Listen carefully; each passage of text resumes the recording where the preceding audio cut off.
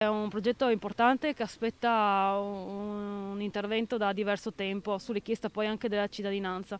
Cominceranno a fine agosto i lavori di riqualificazione del giardino di Guardiella, area verde spesso oggetto di segnalazione da parte dei residenti del rione di San Giovanni per il degrado e le cattive frequentazioni. L'intervento del valore di 300.000 euro, che riguarderà anche altri spazi verdi cittadini, è stato presentato dall'assessore ai lavori pubblici Elisa Lodi, presenti anche il consigliere della sesta circoscrizione Paolo Perini e i responsabili comunali del progetto. Andiamo sicuramente a renderla fruibile alle famiglie e ai bambini Giardini, andiamo a riqualificarla con un lotto di manutenzione che vedrà interventi anche ulteriori in altri giardini di eh, 300.000 euro, andremo quindi a recintare nuovamente l'area, a spostare l'area giochi, a metterla quindi in un'area più centrale con una siepe e un recinto di divisorio, quindi per rendere completamente in sicurezza l'accesso ai bambini, con giochi anche di carattere inclusivo, verranno fatti quindi delle, delle mh, camminate eh, pedonali all'interno, verranno quindi sistemate anche le griglie del, degli scogli d'acqua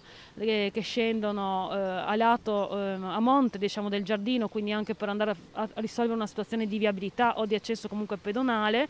Andremo a potenziare l'illuminazione del giardino, quindi per rendere questa area completamente fruibile e in sicurezza. Nel piano non è prevista un'area sgambamento per cani che invece sarà presente nel giardino di Vicolo dell'Edera. Ci sono poi altri interventi in fase di avvio in altre zone della città. Con questo lotto invece interverremo anche in Carlo Alberto con la recinzione dell'area giochi.